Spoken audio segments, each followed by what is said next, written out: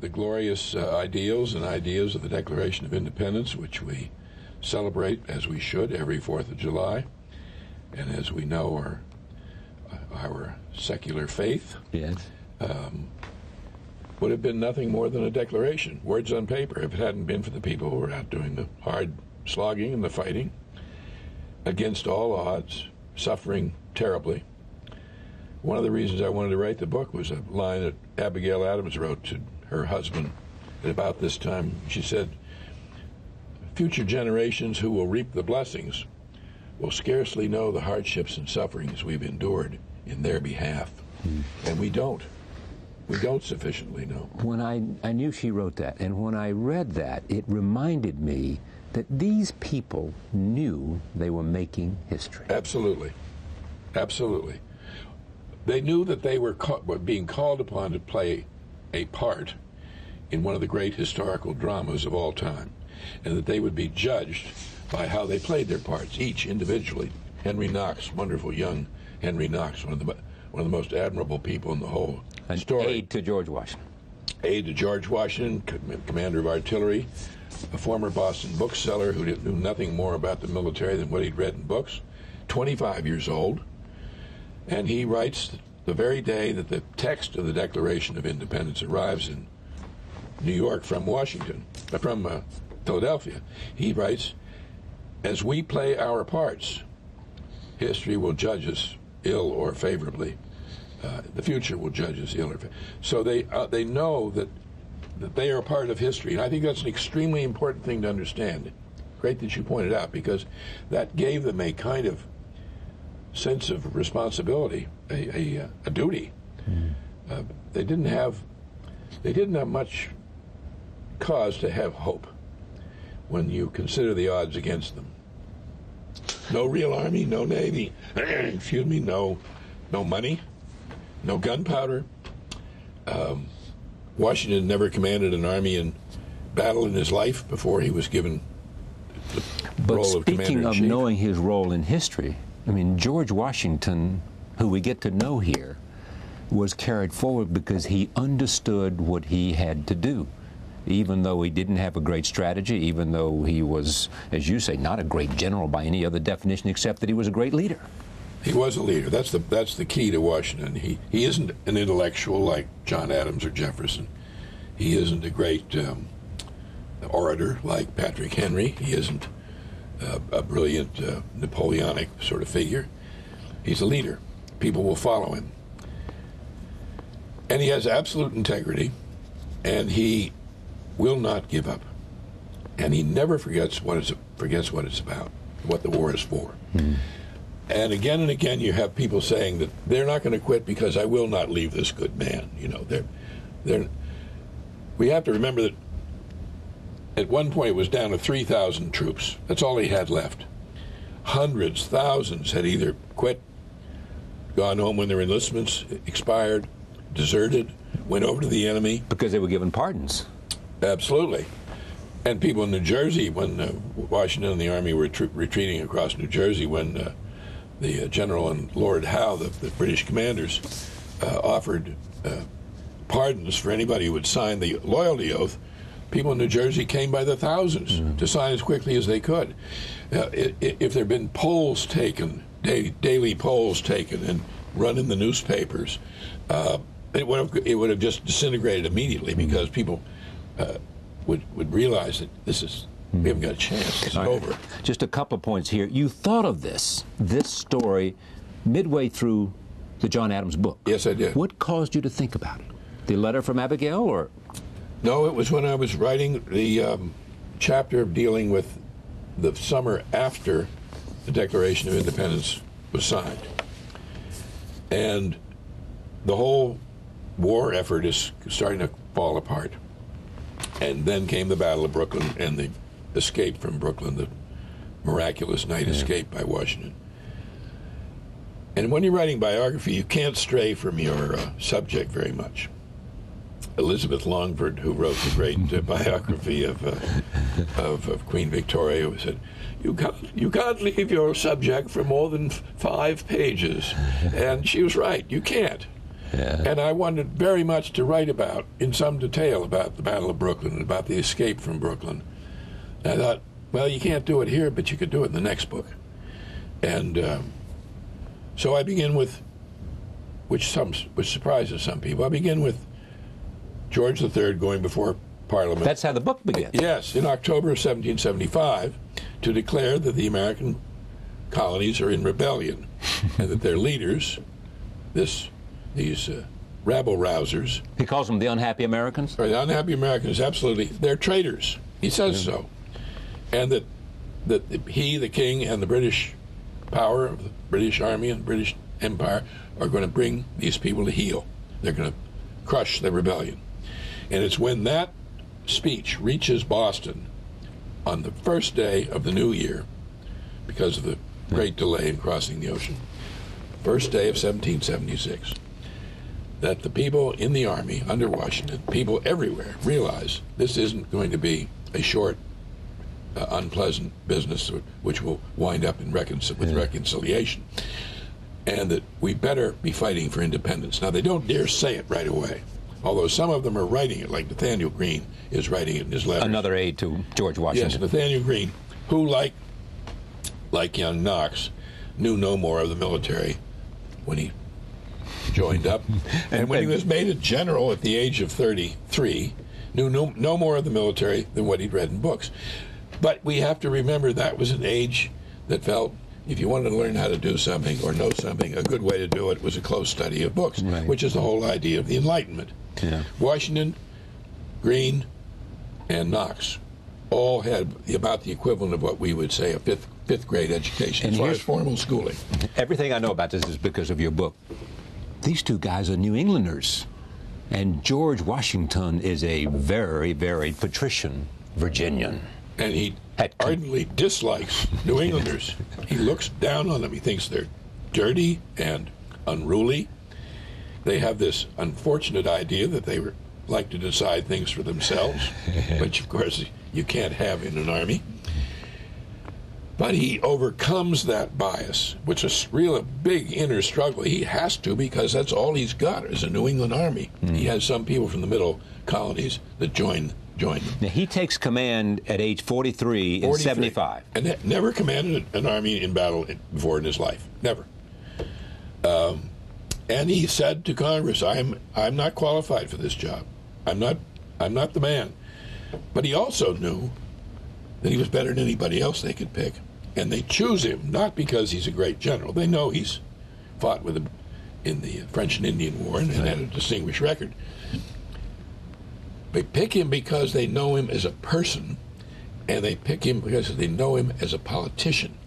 He is a political general, and that's sometimes used in a dismissive or a, um, less than complimentary way.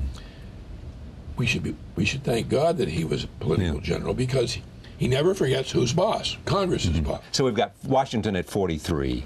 Uh, he goes to the Constitutional Convention, though, in a uniform, Yes, even though he's saying, I'm not the man. Yes, And- he's Wh- certainly signaling that he's available. No, yeah, exactly. If There's a contradiction him. there. If they choose him, well, yes and no. I think he, he's being perfectly honest in both. He will serve if called upon to serve. He is ready to serve. He has his uniform. He's reminding him that he is a military man at heart. But he's very genuine about, look, I'm not the ideal fellow for this job. And he makes he makes some very bad mistakes in judgment.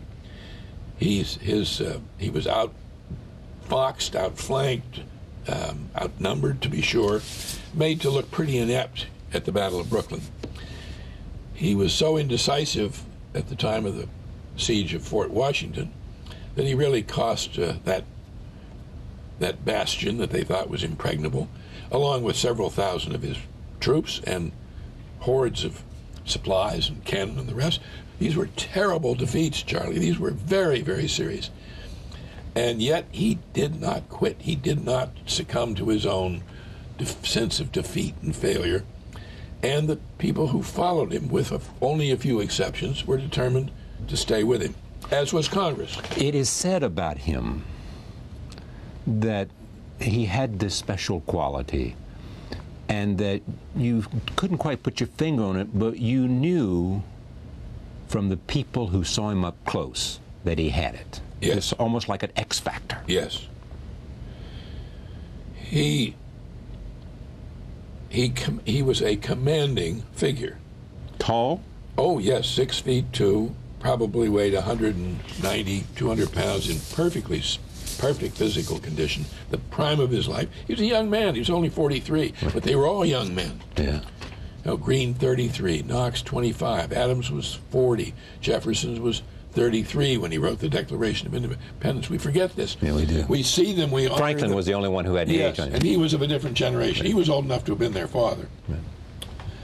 But we see them as the white-haired uh, founding fathers, uh, patriarchs, elder statesmen. But at this point, they're not. It's a young American's cause, and uh, and they they were not in the majority ever. The people who were for the revolution were never in the majority. They were maybe a third. Adams, no one knows what the proportions really hmm. were. There were no poll- polls or surveys taken. But at least as many people were against the war as were for it. And they knew what would probably happen to them, the leaders, if they lost, Yeah. off with their heads. Yes, They would be all hung yes, at the crack of dawn. yes.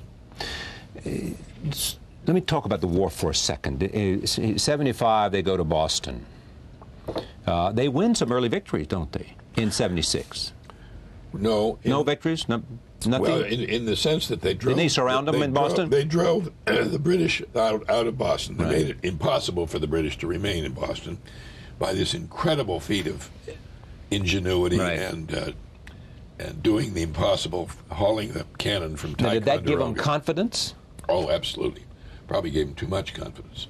They felt pretty big. After all, they'd driven the British Empire exactly. out of Boston. And this was the biggest army, And the biggest, outsmarted them. the biggest superpower in the world. Yes. And they had taken them on and driven them out of Boston. and they were they were jubilant. They were victorious team, you know, and they marched off to New York to face them on the field of battle for the first time. And they suddenly have a name. They're called the Continental Ar- Army. They have a flag to march under. They have their general, and they're going to be joined in New York by the people from New Jersey and New Yorkers and Pennsylvania and so forth. And it will become more than it was in Boston, truly a Continental Army And what happens? they got sick in great numbers uh, epidemic dysentery, smallpox. They didn't understand the rules of hygiene. They, um, Washington divided his army, leaving half in Manhattan and taking the other half over to Brooklyn. Mistake. Mistake. It was a mistake to, try to defend New York. New York was indefensible because they, they had no sea power, they had no navy. British came into New York with a fleet of 400 ships. And if the British Navy had gone up the Hudson, it would have been over? Oh yes, or they no, it, it, it, yes indeed, it could have been. When Washington fought the Battle of Brooklyn with about 9,000 of his troops over there, and was soundly defeated. 300 Americans or so killed, over a thousand taken prisoner, including three generals. It was a rout. It was awful. Now there were pockets of, of valorous uh, performance on, on the part of some of our troops, and uh, the, the miracle is that they didn't lose more. But at that point, the army was, in effect, in the midst of a real trap because all the British had to do was to bring their fleet up the East River, East River, not the Hudson. and they would seal them off. But the wind was in the wrong direction. If the wind had been in the other direction on the night of, say, September of uh, August 28th, 29th, I think it would have all been over because Washington and the army, half of his army would have been trapped. no United States of America if that I don't happened. think so. And, or, Just because of the wind, history Absolutely. was changed. But then, the next day, uh, after the, the defeat of the Battle of Long Island, that they decide they have to escape. Night of August 29th. And they organize a retreat at night back across the East River by rounding up every boat they could get their hands on on the on the East River, on the Hudson, New Jersey, everywhere they could get boats. Brought them all over, and they took that army off of Brooklyn uh, in the night. Nine thousand men cannon, equipment, horses, everything, without the loss of a single man. Now, re- an organized retreat in the face of an enemy of overpowering strength is the hardest thing in the military operations to bring off successfully. And the fact that this amateur army, really undisciplined troops, green troops, people who'd never marched with a rifle before, a musket yeah. before, um, that they pulled this off and it worked was it, it, it was as miraculous as the wind being uh, in their favor. I mean, you got to realize what they're facing the largest expeditionary force ever mounted. Who had just defeated them in a horrendous battle, a huge battle, mm. the biggest battle ever fought on the on North American continent at, up to that point. Mm. And and the the people who saved the army were the Marblehead, Massachusetts Mariners under a tough little general named John Glover. So you have a combination of both fate or luck or circumstance, hand of God, as many said, with the wind being exactly what they needed. But you also had the skill, the ability of those mariners to pull that off. The boats were going across so loaded down that the, the, the, water was only inches below the gunwales. There's no running lights. Yeah. They have to be absolutely silent.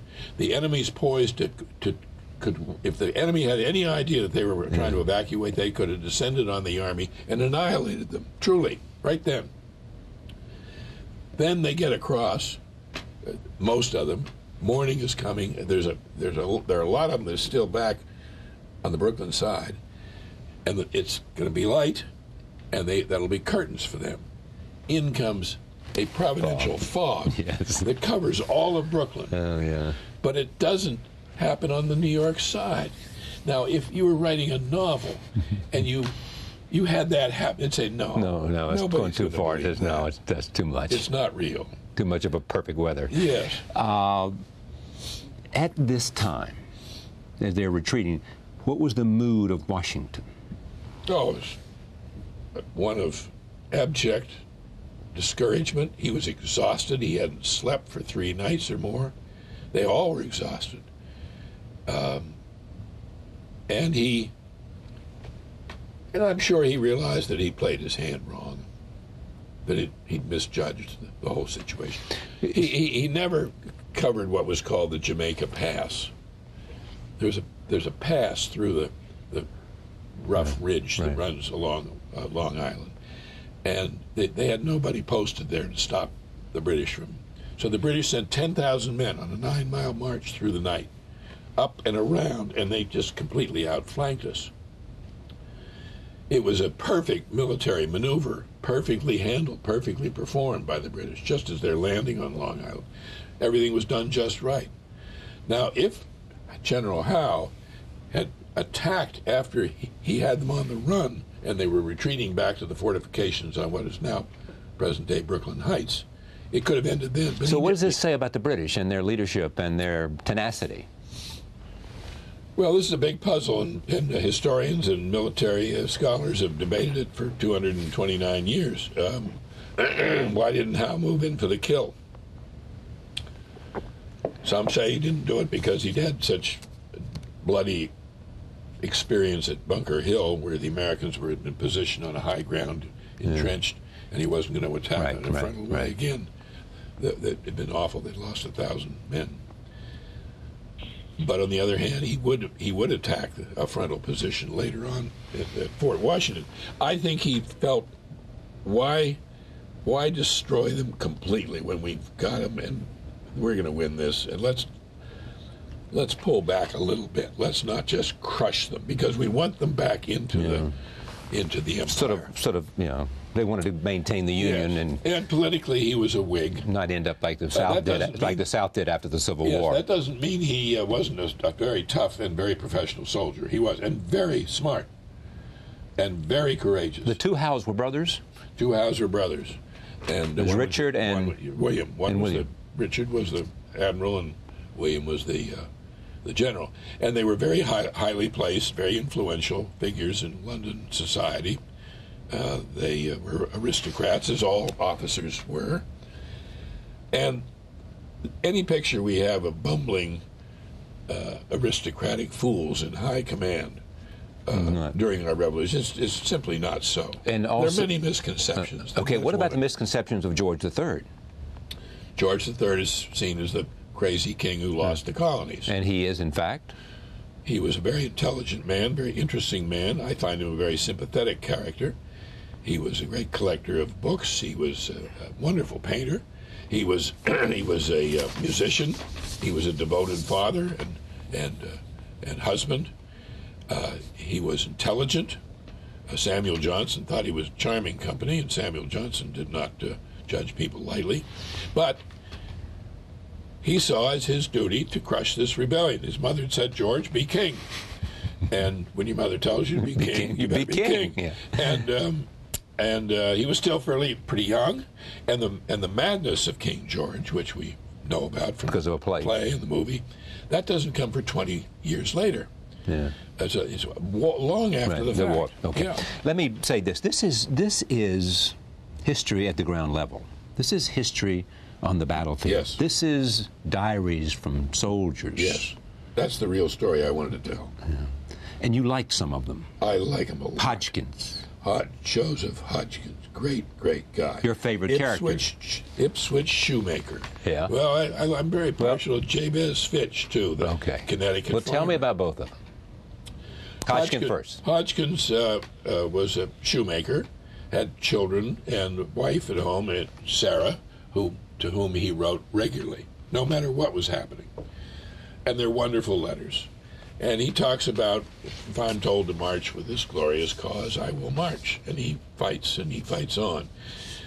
After the escape from Brooklyn, in this terribly demoralized army, Hodgkins is writing to his wife and he has just received a letter that the little boy, their, their youngest child, has died. He's known that the little boy was sick, and he was very worried about him. We forget sometimes these people are thinking about their families, they're thinking about their loved ones. And he, so they've been defeated. It looks like it's over. They're exhausted. They're filthy, dirty. They have no proper uniforms or anything. He hears that this child that he adores has died, and yet he picks himself up and he goes on, and he will not stop. Um, Jabez- Because they believed in their leader, they believed in their mission, they believed in in in the holy idea they were creating a nation. Yes, I think so. Now, Joseph Hodgkins and Jabez Fitch never talk about the Declaration of Independence. It's interesting. Yeah. I, I never found life, liberty, and pursuit of happiness mentioned. How about equality? Yes, I think more it's our our nation, our country, Right. our country. We're going to decide this for ourselves. We're going to make the kind of society or the kind of way of life here that we want. We're not going to be dictated to. That's what always drives revolutions. Yes, but they're not fighting for because they're they're exploited and suppressed and right. poor. They had the highest standard. Americans had the highest standard of living, average Americans, of any place in the world. But they wanted to shape their own destiny. Yes, exactly. Okay. and help- they and they they were proud of who they were, and they wanted to show these Brits that they could fight as well as anyone. Given some experience, they're learning from experience. Washington, Greene, Knox, Glover, they're all learning as they're going along. and that was one of the values that Washington had. He could learn from his experience. Exactly. So when he's defeated, he doesn't say, "Oh, woe is me, uh, uh, pity me." But what can I learn from this? Experience had been his teacher all through life. He was, his father died when he was quite young. He was on his own from about the age of age 16, Yeah. as all this, these other people were too. But the uh, the Jabez Fitch uh, story is different because he's keeping a diary and he kept a diary no matter what was happening, including after he was c- captured and taken prisoner and put one of the on one of those vile British prison ships in the harbor here in New York. And I think he must have hid hid this. You shouldn't picture a beautiful leather diary, you know. Like it- it- they're writing on little scraps of paper, and I think he was hiding them in his shoe uh, because that was against the rules. You weren't Right, supposed to do right. that. But the, the fact that they wrote the letters, the fact that they kept the diaries, is is part of our, their great contribution to their country. Because now we know what it was like. We can be in their shoes, in their skin, in their and, and feel what they went through. These very human beings, and also I think what comes across is how tough they were. These people were people who who had been beat up by Yeah. life, just by life in peacetime, by by our standards. Yeah. We are sort of contained in cotton compared to how life was then. They did not know how it was going to turn out. Right. And they also knew that wi- without courage, without an understanding that life isn't always a big gift of a bed of roses, you're not going to make it through life because life was hard. Any New Englander, for example, knew that it's best to expect the worst. You know, life on a New England farm, and most all of these people are farmers, was a struggle. Life was it was a battle, and um, you know, they many of these fellows had no shoes, and of course in the wintertime it was terrible. And, and the and the sort of legendary st- stories of their leaving bloody foot, footprints in the snow from marching in their bare feet. Those are true. That's true. Really happened. But you also have to understand that a, a farmer, particularly a f- young farm boy, as many of them were, went barefoot all summer long, from about late May till probably October. They had tough feet. They weren't like our feet, um, and that, that's that's something to understand. They knew how to fix a broken wagon. They knew how to pull out a stump or dig a trench. They, knew- they were used to hard work. They knew how to. They knew how to survive outside. Yes. Uh, let me take you back to the battle. So they they retreat to New Jersey, Yes. down to 3,000, 2,500 Yep. men, ill-clothed, ill-fed, not enough Cold. cold. Yep. It is now December, November, December. It, things are precarious. George Washington, on Christmas night, decides what? Well, all hope was gone. He said himself the game's pretty nearly up. Well, We sometimes when all hope's gone, the thing you do is attack. Freedom is having nothing else to lose. Yeah. So he he's wanted to attack all along, in, from Boston on. He's constantly wanting to attack, and and his councils of war again and again and again are pulling him back from that wisely. Had he launched an attack on the British in Boston, it would have been a catastrophe. for us- Overwhelming for us, absolutely. But he decides Christmas night they're going to attack. They're going to cross the Delaware and strike at Trenton, where there are 1,500 Hessians, German mercenaries, um, bivouacked for the winter. They're sort of outposts, while the major part of the British Army, the enemy army, has pulled back, most of them back here to New York. And uh, they they cross at night and they march through the night. Now, to give you some idea of how rough that was, the only fatalities, the only men we lost at the Battle of Trenton were two guys that froze to death on the march. Wow. Just froze to death. And they hit early the next morning, and it was a rout because it was total surprise, and they came in determined to really win. And um, when it was over, Washington turned to one of his officers and said, "This is a glorious day for America," and it was. He knew he knew what the psychological impact of the victory. What did it do? It gave people the idea that we might win. Even though it took six, seven long years. Yeah, absolutely. Uh, well, they didn't know that yet. Yeah. That we could beat them. It was possible to fight them and beat them. Now, it wasn't a big battle. It wasn't like the Battle of Long Island, Battle of Brooklyn, as it was called then. It was a small battle. It was a fierce fight, bloody for, for the enemy, for the Hessians. And the Hessians were not drunk from Christmas celebrations the night before, as uh, many people have written and said. They weren't. Washington then had to do something, and the the natural decision would have been to retreat back across the Delaware, where he was pretty safe because the British didn't have any boats to get across. But he didn't do that. He turned and made a big loop around and came up and struck at Princeton and won again. Two victories, one right on top of the other. And that com- that combination just changed morale of everybody. You can read it in the letters of Abigail Adams. You can read it in all kinds of people, all uh, ministers and, and attorneys and people in all walks of life writing about what it meant to get the word that we had won at Trenton. Mm-hmm. And, and while Princeton was important, and it was a victory, Trenton was far and away one of the most important events in the war, and consequently one of the most important events in history. It, it would it would truly change the world. That little victory at nighttime Trenton. attack 20... on Trenton, which was a little village. And he took 2,500 men over. Yes. And two other attacks were to be launched farther down the river. It was a three-pronged and, and, in and this, the other ones didn't. And in this case, Washington was the field commander. He rode with the troops, but he was not commanding them immediately.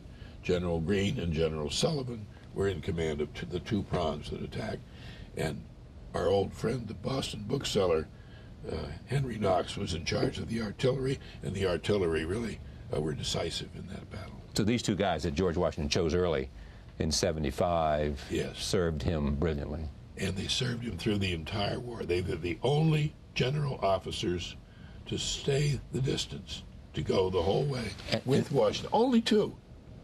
Washington, Knox, and Greene are the only ones that fight through the whole war, of the general officers. They all would come in and serve and be yeah, killed or leave. Yeah, or so they'd leave. Now, Hamilton came in at some point, didn't he? Yes, he's. Didn't he's, he serve as an aide to Washington? Uh, he does later. At yeah. this point, he's a young artillery officer, and he fought in the Battle of Trenton, and he fought, fought in the Battle of Princeton. And what did he, and he think of the Battle of New York? And what did he think of Washington? he idolized him. Later on, they would have their differences, and then they would patch that up. And of course, he would become Washington Secretary of the Treasury. Yeah. Did did Washington have after after he is one of the great men in history? Yes. Helped there, but for George Washington, there is no America. That's my feeling. I think he's the greatest president we ever had. I think he's the greatest American of all. Because if it weren't for him, as you, you just said, there would be, in my view, be no United States of America. And he did it all right, particularly when he became president. He set the example, just as he was setting the example as a, as the general, as the commander in chief, in the very dark days of the Revolution. I think we've got to understand that how human they were, because that makes their achievement all the more remarkable. If they were gods, gods can do anything. And uh, they weren't. They weren't superhumans. They were extraordinary people, and some of them were truly brilliant. And it is truly a miracle what they accomplished. But these were the people that were present at the creation. The founding fathers. The present, present there. They were making a country, making a revolution first, and then making a country against the most daunting odds imaginable. Where did the phrase "present at the creation" first come? Because it was also the title, I it think, was, of Dean Acheson's book. It was used in, as title of Dean Acheson's marvelous book about uh, the Truman years. Yeah.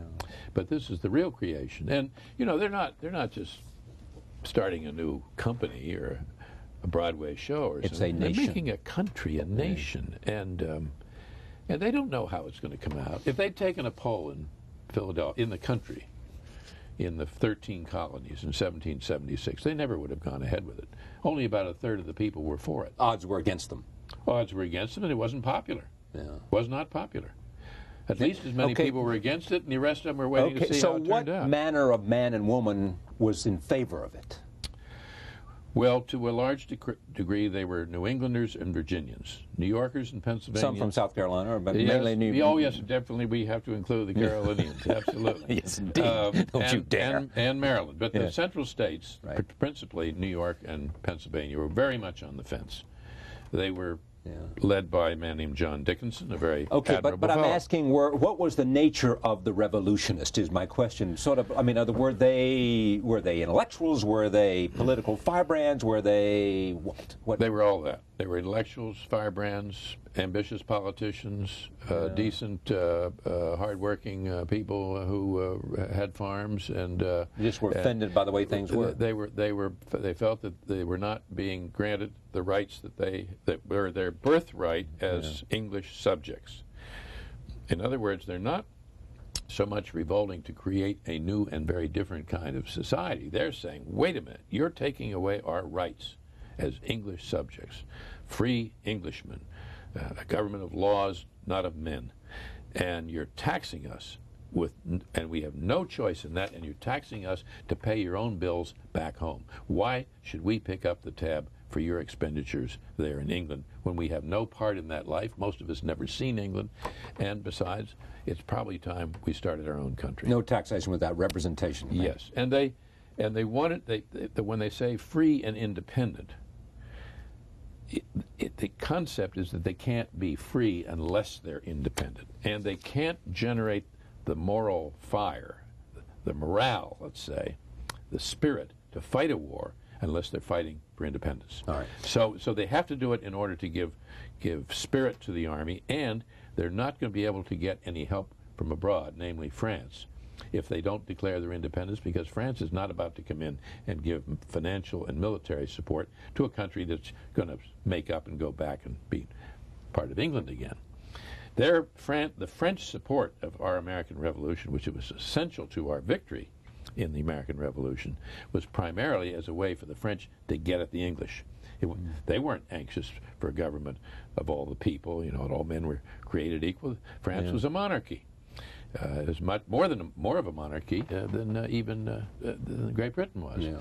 So um, It's amazing when you think about that. And when, on the great decision of the war against France, John Adams yes, as believes that the most important thing he did yes. was to want peace with France and not Yes. war.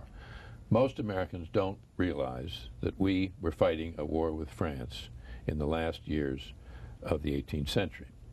In the, during the John Adams administration as president, we were fighting an undeclared war at sea, but it was a real war. Yeah.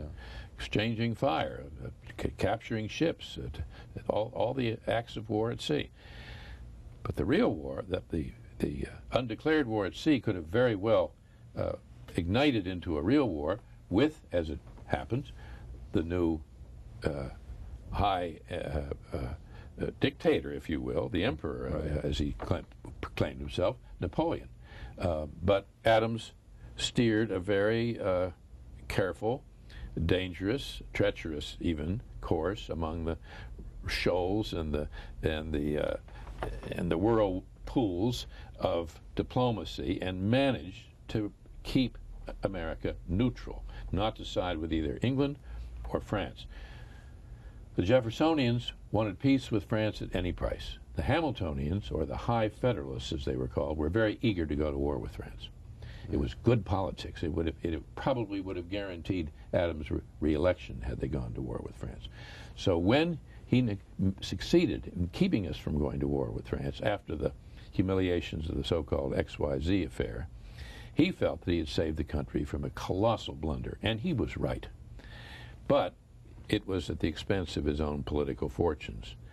And he knew that that was And going where to did he place that effort in terms of his own historical legacy?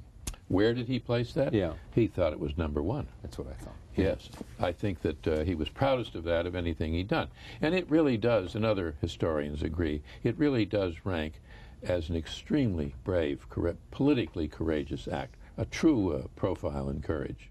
There are many similarities between Truman and John Adams. Like there are very great differences. What are the similarities? Both farmers' sons, Right. Both uh, short uh, in stature, not uh, charismatic or handsome, uh, both great readers of history, Both letter writers. both very uh, direct, both letter writers, exactly, both very direct in their candor, and uh, and both underestimated, and and both men of character and integrity, and and both um, vice presidents who followed uh, looming uh, uh, id- idolized uh, presidents before them. Right. And that, but with, with having said all that, there were tremendous differences. Like. Uh, Adams was brilliant. Adams was an, an intellectual, a, giant mind. Truman was very intelligent, but not that. Adams was learned, probably the most widely, deeply read of his American of his day, more so even than Jefferson, a farmer's son who became that. Right. Um, and Adams did not like party politics. He thought party politics were vile. He thought that the country, as did Washington, that the country would be destroyed by party, party politics because people would begin to think more about the fortunes of their party than the fortunes of the United States of America. Imagine him thinking that. Yeah. I was going to say one of the other similarities was they both had a great sense of of the country and what it meant. Oh, absolutely. And the mission of and the country. And they were true patriots who who showed that uh, by by risking their lives, by going to war or by go, going to uh, serve overseas, as Adams did in the midst of war, crossing the Atlantic four times, a great risk to his life, signing a Declaration of Independence that declared him as it did all the others Now, were they were they loners uh, or or not? Were, was Truman more of a kind of club guy and Adams was a no, loner? Truman was very much not a loner at all. Right. He was a Uh, club guy. Yes, he was much more. He was very active in the Masons. Right, he was a very good party man. Uh, they're both devoted to their wives. Yeah. Uh, they were both Abigail and Bess. yes, uh, and they were both uh, well well advised by their wives uh, backstage, off off. Bess stage. was a wise counsel to. Yes, I think she was. Bess abhorred public life. Uh, she uh, she would freeze in front of a camera. Became a old stone face. But uh, whereas Abigail loved public life, Abigail adored politics, and in many ways, Abigail Adams was a better political thinker uh, than was her husband. She she had a wonderful capacity to judge human people. I'm going to get to that book in a moment. Suppose I'd said to you, David, this is a really good idea, but this is going to take 10 years of your life. I would have said no. Mm-hmm. You would have. Oh, absolutely. I'm glad I didn't know, because I never would have done it. But did you? I ever- didn't did- know how But you deep- never thought about quitting. I never, no, never, never, never. No, I've been very lucky in my subjects, Charlie, and I've. The more you learn, the more you want to learn, and every book. I have never known a great deal about any subject that I've embarked upon to write about, ever. So there's a voyage That- of discovery for you. Yes, and if I knew all about it, I wouldn't want to write the book. It's it's a it's a it's a journey, and and you learn so much by doing this, and you learn a lot about yourself. Um, like what? Well, I- writing this may sound strange, but I think writing history requires a great deal of imagination. I don't mean that that you're making things up, but you have to be able to transport yourself into that other time and into the shoes of those other people. Get inside their skins, if you will. Mm-hmm. And that takes imagination. That takes empathy and sympathy. I don't mean sympathetic in the sense of feeling sorry for them, but sympathetic in you understand what trouble they were in or how mm-hmm. complicated the situation may have been and what they didn't know. We have to always remember they don't know an awful lot because they're caught up in the moment just as we are and they don't know how You know, things are going to turn out. That's a But very I- yeah. Go ahead. yeah, but I, I, I also feel that for me, it's been a, a, a, a, a opportunity for self-expression because I can express things that I feel about human nature, about life, about the bonds of friendship, family, about loyalty, about bravery under difficult circumstances, and about our country that I'm dying to express, that I want to express. I can't understand how anyone who professes to love our country can have no interest In, in our history. Exactly. But let me go back to Jefferson, too. What's interesting about this is everything Adams was, Jefferson wasn't. Jefferson burned all the letters that he and his wife wrote Yes, or received. yes. Jefferson lives in a different world from Adams. He's been he's been born and raised in a different world. His first memory was of being carried on a pillow by a slave. First thing he remembered in his life. he is, of course, our great uh, voice, our great uh, uh, pen, as they said then, of the American Is that ideal. what they call him? A great pen? The great, he was the pen of the revolution, Right. the pen of, Right. and Adams was the voice. Um, and and he speaks for the equality and the, and the common man. And here he is living as far removed from the, the daily rounds of life of the common man as one could get, served in every possible way by um, uh, people held in bondage, by slaves. Adams, who is of the common man, Adams, who was a farmer's son whose mother was almost certainly illiterate, who grew up knowing that life, particularly in a New England farm, is a struggle. He's saying, You got to watch out for the common man. I know, I'm one of them. And the majority, if they get too much power, can be as despotic or as dangerous as an individual. So they're sort of the yin and the yang of the American Revolution. I've always been fascinated by the idea of first Adams, Jefferson, and Franklin. Of those three, is it automatic that Jefferson loved Paris more than the other two, or is it hard to tell? I don't think he necessarily did love Paris more than the Jefferson. other two. Yeah. Jefferson. I don't think Adams spoke French better than he did, read it more readily than he did. Yes. Uh, Franklin, of course, uh, took to the to the way of life immediately. Yes. Uh, Jefferson was there longer. He was there five years. And I think in many ways they were as happy as any years in his life because he was away from slavery. right. Although Sam wasn't Hemings with him. Yes, but they were free while they were there. Yeah. And um, he, you really think he was so troubled by slavery that made him happy that he was away? yes, I don't think he liked looking at it. I think he knew it was wrong, and I think he. Uh, And why didn't he give it up? Well, that's a very good question. We'll never know the answer. I have to, I have a feeling it had to do with f- finances. He was always He was always in debt, Looking for and his greatest wealth was in his slaves, which was true of many Southern planters. He died very poor, didn't he, Jefferson? died In broke. debt, and broke, and broke. Deeply Yeah. in with debt. with fine wine in his cellar. Yes, and he never stopped spending. Yes, exactly. I don't. He must have been a smooth talker when he went to the bank because uh, how he how he could get, get away with it all his life. Yeah. He was never not in debt. But I think that Jefferson wanted to bring something home from Paris. He brought home paintings. He brought home some 80 crates of books and all kinds of things to raise the cultural level of the country. And I think that was a genuine mission. I know it was a genuine mission. And that's exactly what these people felt. These Americans were not disenchanted with their country. They weren't like the so-called lost generation. They went to learn something and to bring something back. Yes, they weren't alienated from America.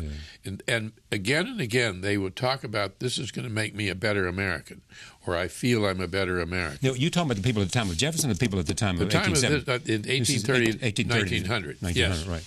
And they, they're, they're not going to bring home 80 crates full of stuff, Hmm. but they're going to bring home themselves as a better sculptor, a better painter, a better physician, a better politician. Yeah. Excuse my curiosity about this, but because I've asked you about this before, when when the famous story that Jefferson and, and Adams died on the same day, Yes. who was it that reached out to whom? Because someone told me, or, or you told me, that it wasn't either of the, that the person. I first heard that it was Adam's wife, Abigail, who was responsible. Then I heard no, that she actually No, it was Benjamin Rush. Benjamin Rush Benjamin Rush from Philadelphia, the physician, a signer of the Declaration of Independence. felt like what He felt that they th- those two should have a reconciliation before they either both before died. they died, and and Adams agreed right away and wrote to Jefferson, and that's what started. so Adams wrote to Jefferson, Yes. yeah, and Abigail had nothing to do with it either nothing way. to do with it. In fact, Abigail was more angry at Jefferson. That's what I thought. That's what someone told me. That was yeah. a new information for me. Yeah. That, that Abigail didn't like Jefferson, was angry at Jefferson more than John. Yes.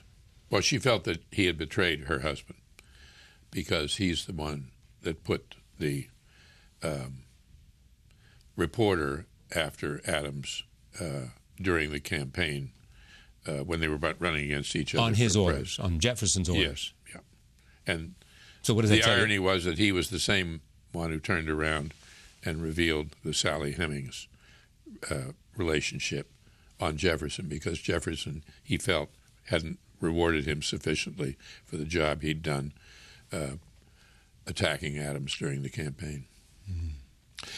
But uh, but they were really they were true friends. They were as different as night and day, and and uh, they died on the same day, and they didn't die just on any day. They died on the Fourth of July, their day, and Adams truly did say Jefferson survives. Survives. It wasn't Survives. still lives. No, Survives. survives. and Jefferson was dead. And Jefferson had died that morning. Wow. July 4th. Yeah. To, I had the opportunity to write to, about some of the most spectacular human beings I've ever. I don't mean that in that they were necessarily great, but they were interesting. I'm interested in the people, uh, and I'm not interested. An entirely virtuous person is not very interesting. Right. An entirely Yeah, uh, it's- it's perfect score. Goody, goody two shoes and all that. yes, no, no. You want human. You want flaws So- and warts. I think writing history requires a great deal of imagination. I don't mean that that you're making things up, but you have to be able to transport yourself into that other time and into the shoes of those other people. Get inside their skins, if you will. And that takes imagination, that takes empathy and sympathy. I don't mean sympathetic in the sense of feeling sorry for them, but sympathetic in you understand what trouble they were in or how complicated the situation may have been and what they didn't know. Which of these stories, which of these characters, which of these books means the most to you? Can't answer it. It's like answering which your children. Um, I can say this, and, and no, question about it. Of all the years, I've 40 years I've been at work, the happiest, most fulfilling years, and I've loved every subject that I have undertaken. I've been very lucky in my subjects. But the years I enjoyed most were the years writing the John Adams book because of that material. It was such a privilege to keep company with those people. They set such a high standard for us. You believe that you, if your subjects live to an older age, they lose some of their inhibition. They have a different perspective on things. They're freer Yes. to talk with more I think so. I feel that way. Yeah. Somebody said, I don't know, maybe you know, that courage is having been done, ha, courage is having done it before. yeah. And um, um, I feel now that I see a lot more clearly than I did before. To write well is to think clearly. And that's why it's so hard. But it's also why it's so enjoyable. Writing is hard work, but I never equated ease with happiness. I'm often happier when I'm working than I am doing anything else. I'm on vacation every day. Every That's, day. that's because you found something you love. I love it, and I want to, I want you to know what I love. yeah, me too. I do, and I want you to know much more about our country. And I want I want people to understand that we too are being judged by history. History isn't just something that happened before we came on the scene. We're part of history. And uh, how are we going to measure up? How will our political discourse, our participation as citizens, how will we look when they take a look at us 50 or 100 years from now? You've been part of our history, and I thank you for sharing it with me. Thank you, Charlie, very much, as always.